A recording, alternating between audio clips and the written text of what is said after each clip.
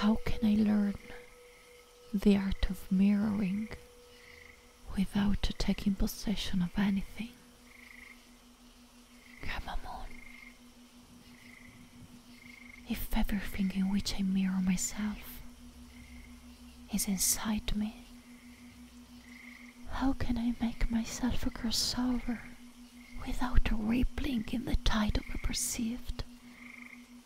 How is appearance separated from the mirror if a gesture and a reflection make love in an instant? Nothing, she answered. They are the same thing.